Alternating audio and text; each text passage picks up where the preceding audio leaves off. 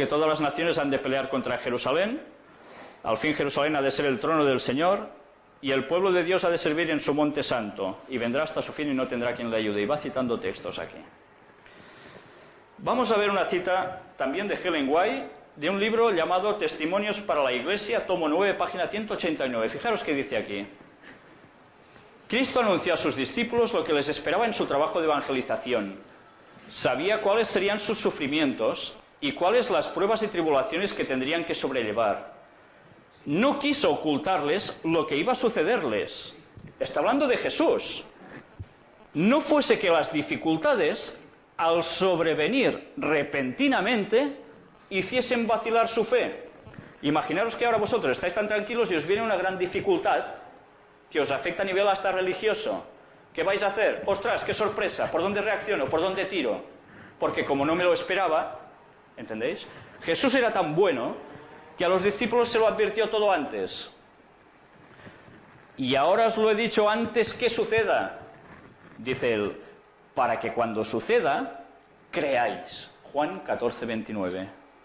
La prueba, en vez de minar su fe, debía afirmarla. Unos a otros debían repetirse. Nos había dicho que esto vendría y cómo hacerle frente. Por tanto, si alguien os dice algo que está muy de moda, de que, bueno, sí, las profecías se cumplen y luego pasan cosas y decimos, uy, ah, esto es seguramente lo que decía el texto. Es muy distinto esta aplicación a decir, va a pasar tal cosa. Y os lo digo antes, para que cuando pase veáis que eso es cierto y ya estáis preparados porque sabréis que os va a pasar eso y qué tenéis que hacer. Qué gran diferencia. Nada que ver con lo que habitualmente se está comentando ahora. Jesús advierte primero. Esa es la profecía. Para saber qué hemos de hacer. Y ahora vamos a ver precisamente una comparativa entre banderas de las que hemos visto antes. Estados Unidos y los otros países que hemos ido viendo, hasta llegar hasta la Unión Europea. ¿Qué veis de común en todas ellas? Las estrellas de cinco puntas, ¿verdad?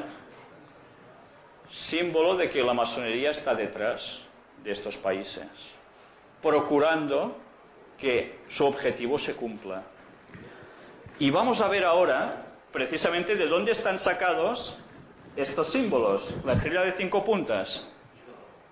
¿De dónde surgen? ¿Puedes explicar, Sispo? Ay, madre. ¿Recordáis esta foto? La vimos anteriormente. El interior de una logia masónica. Impresionante, ¿verdad? Ya veis cómo van vestidos ellos. Vamos a ver de dónde están sacados esos símbolos. ¿Puedes clicar? ¿Qué aparece aquí? Anda, la pirámide sacada de una logia de allí arriba y que también aparece en los billetes de dólar. Sí.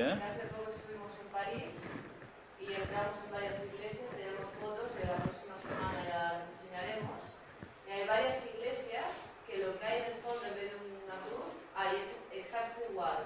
Un triángulo con letras en medio que parece sí, sí. que son letras eh, hebreas y ese sol. Igual, igual que eso. Y los, enseñaré en católicas. En iglesias católicas. ¿Vais viendo la vinculación entre una cosa y la otra? Pues, pues no tendrá desperdicio ese tema. Vamos a ver más símbolos. ¿De dónde están sacados? El ojo que todo lo ve. Claro, también de dónde veis la, de allí arriba ¿Y dónde aparece también? En la pirámide del dólar, para variar. ¿Qué más otros símbolos vemos aquí? Claro, la estrella de cinco puntas, para variar.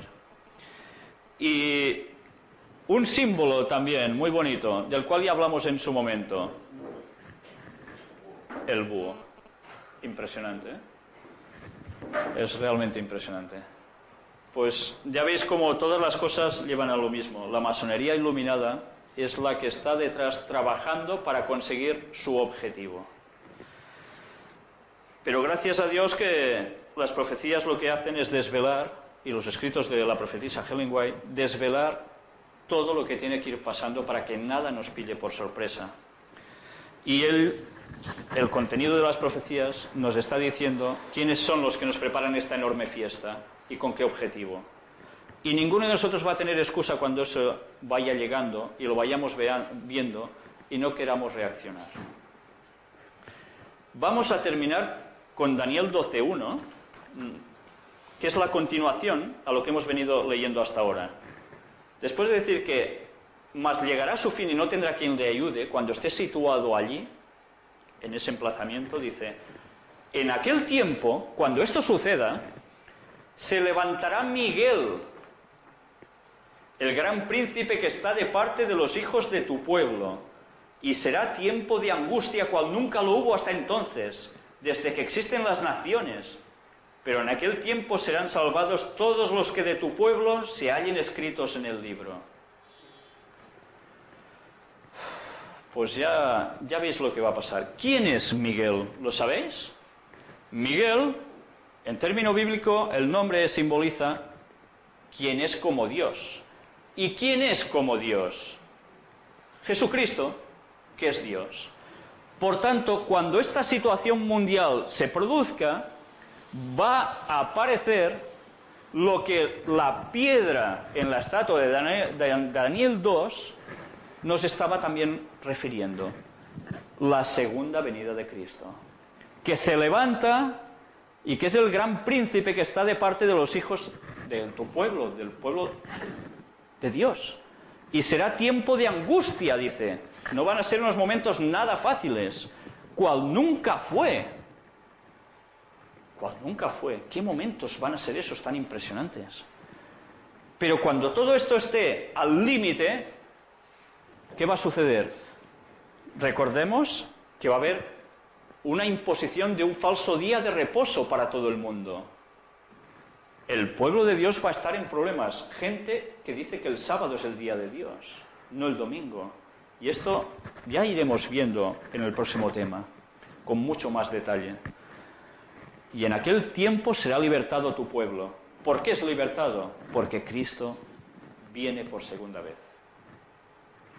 y salva a los que están escritos en el libro de los que lo, quieren seguir de verdad.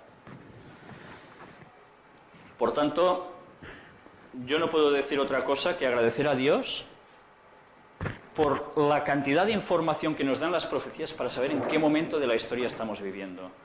Y que si nosotros nos diésemos cuenta cuando cogemos Daniel 11, estos versículos que hemos leído hoy, y decimos, ostras, todo empezó con un 11S, motivado por masonería, y que ha llevado el mundo a lo que lo va a llevar además, yo sé en qué momento de la historia estoy viviendo. Y no me va a sorprender cuando vea que Estados Unidos ataca a otro país de esa zona con sus aliados. Ni me va a sorprender cuando vea lo que hemos visto hoy en general. Yo quisiera terminar con un texto que se encuentra en 1 Corintios capítulo 14 y versículo 1. ¿Sabéis? El capítulo anterior es un capítulo todo dedicado al amor y que mucha gente cuando lo comenta dice, qué bonito. En el fondo lo más importante es el amor. Y eso es lo importante. Lo demás, paparrinas. Y es verdad, lo importante es el amor. Pero, ¿sabéis? A veces se olvida que también cuando se escribió esta epístola del apóstol Pablo, este versículo va detrás, no va separado. Y este texto dice, seguid el amor y procurad los dones espirituales, pero sobre todo que profeticéis.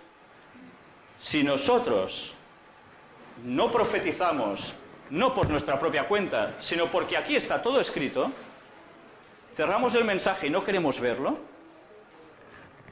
¿estoy haciendo caso de lo que se me dice? En absoluto. ¿Os ha quedado claro hoy que la profecía que hemos analizado hoy, cogida literalmente, tiene todo el sentido del mundo? Todo encaja a la perfección y las pruebas las estamos teniendo. Por tanto, vosotros juzgad las interpretaciones que alguien nos pueda decir al respecto, por vosotros mismos.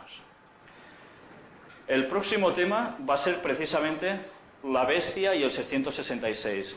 Si podemos, lo vamos a tratar todo junto. El tema es bastante extenso, si no lo tendremos que dividir en dos veces. Hay una cuestión también Eh, la setmana que viene, pots parar ja, si vols, eh?